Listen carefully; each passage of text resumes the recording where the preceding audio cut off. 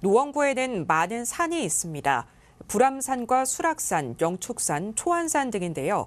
초안산을 제외하곤 모두 산 둘레를 가볍게 산책할 수 있는 무장의 숲길이 만들어져 있습니다. 네, 최근 서울시 예산심사에서 순환산책로 사업에 대한 공사비 일부를 확보하면서 초안산에도 모든 둘레길에 산책로가 설치될 예정입니다. 이승준 기자의 보도입니다. 노원구가 꾸준하게 만들고 있는 무장의 숲길. 장애인부터 어르신, 임산부 등 보행 약자를 위한 산책로입니다. 완만한 경사의 나무 데크길은 계단과 턱 등 장애물이 없어 유모차나 휠체어 사용자들도 쉽게 다닐 수 있습니다. 불암산과 영축산, 수락산은 모든 구간의 공사가 완료된 상태지만 초안산의 경우 아직 일부분만 조성되어 있습니다. 여기가 이제 맨 마지막으로 지금 하고 있는데요.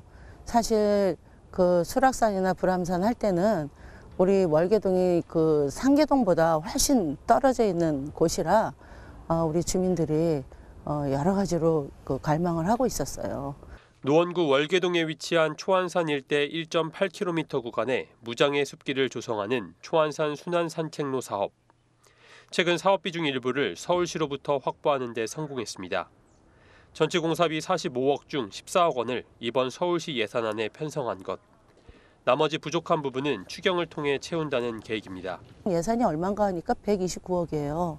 그래서 공사비가만 45억으로 이렇게 책정을 하고 그리고 84억은 이제 이 그 토지 보상비로 어 요거는 이제 구비로 하고 그다음에 이제 45억은 시비를 받아서 하려고 시작을 해서 월계동에 끊겼던 경춘선 숲길 사업도 최근 연장 계획을 발표하면서 초안산 무장의 숲길과 더불어 월계동 주민들의 수건이었던 공원 조성 사업이 속도를 내고 있습니다. 딜라이브 뉴스 이승준입니다.